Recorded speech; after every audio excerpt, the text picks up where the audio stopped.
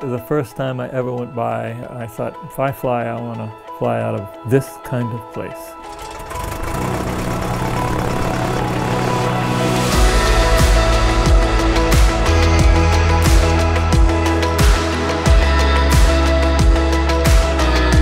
I have to say, I don't think there are any farm strips that are quite like ours.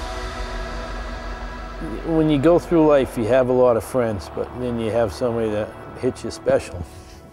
He was my best friend.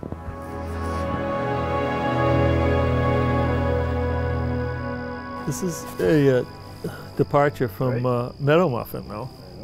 Hope that's okay.